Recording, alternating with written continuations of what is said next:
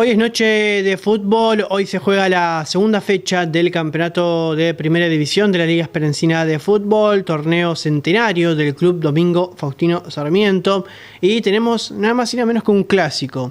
Hoy se estarán enfrentando Unión Progresista y Central en el estadio 23 de diciembre, un partido más que interesante para, eh, bueno, bastante temprano en el fixture para, para que se enfrenten porque todavía no... no no, no se ha visto, por supuesto, el potencial de ambos equipos. No sabemos eh, exactamente, eh, no, no, no tenemos el amperímetro de saber eh, para, para, qué está cada equipo. Si bien creemos que Central va a seguir siendo protagonista y creemos que Unión Progresista este año puede llegar a dar un salto, obviamente que todavía es muy temprano para, para hacer algún pronóstico. Pero de todas maneras, yo creo que este partido justamente puede llegar a ser importante para ver para qué puede estar cada equipo. Hay que decir que Central, después de este clásico ante el Deport, tiene que jugar el clásico ante Argentino, así que por ahí para Central es un poco más apremiante el fixture, pero para el Deport es una buena oportunidad, no solamente para eh, eh, intentar quedarse con el clásico, sino para romper una marca bastante negativa, porque hace ya nueve partidos, nueve clásicos que el Deport no le puede ganar a Central. Ya pasó mucho, pero mucho tiempo. La última vez que el Depor le ganó Central fue en junio del 2018. Estamos hablando de casi seis años atrás.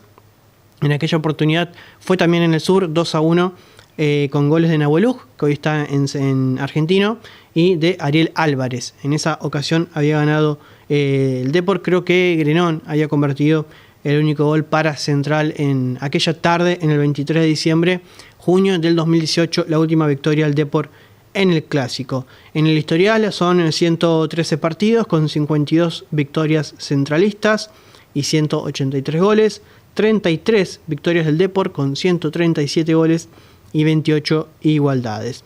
Un, clásico que eh, en números es favorable a Central, pero esta noche en el sur puede pasar cualquier cosa. La última vez que se enfrentaron, como estamos viendo un poquito en imágenes, fue en un partidazo. Ojalá, ojalá esta noche tengamos algo parecido el 26 de marzo del año pasado, es decir, casi un año atrás, casi exactamente un año atrás, también por la fecha 2, el Deport y Central empataron 3 a 3 en un partidazo.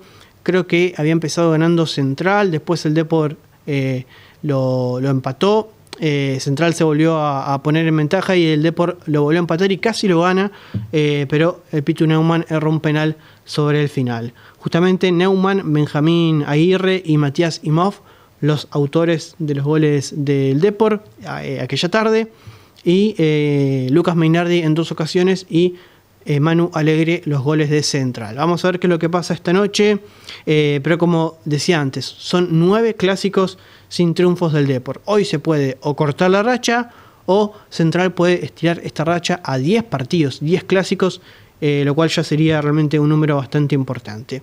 Pero no solamente tenemos clásico, que ya de por sí es eh, importante. Vale mencionarlo, quería también eh, comentar para la gente que quiere ir a la cancha que la entrada va a tener un costo de 2.500 pesos.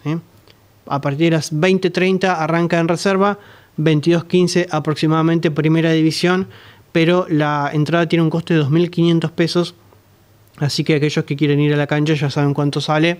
Eh, hay que tener en cuenta de que eh, también va a haber un, buen servicio de buffet y que todo este tipo de, ingresos al club eh, progresista y también a, Central le van a venir bastante bien. 20-30 reserva, 22-15 primera división. Y lo que quería decir es que también tenemos el partido argentino que también juega esta noche. El decano juega ante Argentino de López, un rival al que la semana pasada, al que la semana pasada, al que el año pasado enfrentó eh, también eh, en, el campeonato de la Esperancina y que tuvo una goleada histórica, ¿se acuerdan? El 10 a 3 del campeonato pasado. Realmente no, no, sabemos qué le pasó a Argentino de López esa noche porque lo mal que habían marcado, eh, habían jugado demasiado con el offside y lo habían hecho muy mal, muy mal lo habían hecho esa noche. 10 a 3 ganó Argentino de aquí de San Carlos en aquella oportunidad. Vamos a ver si se repite la historia en esta oportunidad. No creo realmente que eh, suceda algo así, pero ¿quién te dice? A lo mejor se repite una goleada. Vamos a ver porque Argentino anda muy bien, viene de eh, ganar en esperanza y quiere seguir por el sendero del triunfo. Así que esta noche también tenemos este partido en el estadio 12 de enero.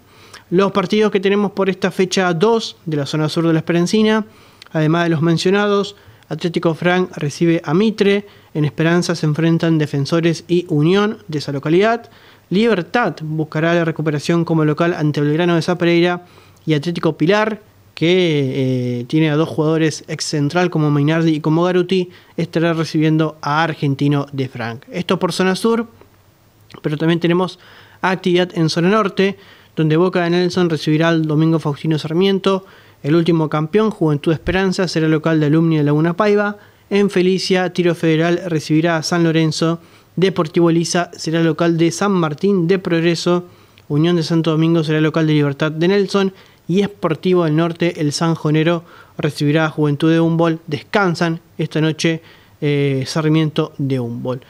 Esta noche entonces 20-30 reserva, 22-15 primera división. Se juega una nueva fecha de la Liga Esperencina de Fútbol. Mañana, más allá de que sea feriado, vamos a tratar de por lo menos eh, contarte en pocas palabras lo que nos deje el clásico de esta noche entre el Depor y Central. Después seguramente la semana que viene con más tiempo te estaremos mostrando bien las imágenes. El partido va a terminar tarde, sepan entender de que por ahí no nos va a dar el tiempo para compaginar las imágenes y demás. Pero mañana algo te vamos a contar de lo que nos deje este clásico San Carlino en San Carlos Sur.